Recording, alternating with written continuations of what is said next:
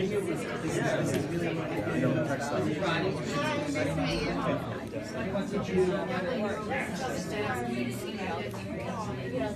what is this that you're making? I have no idea. I was trying to make a face, but then like it like turned into a guys lot only got more. one day to really use this program, so.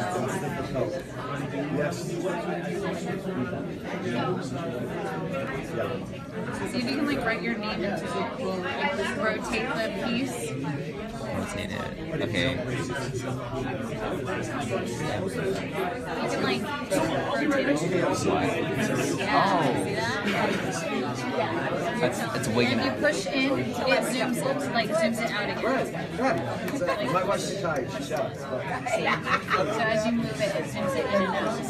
And then you can go like this and rotate it. And you can let go.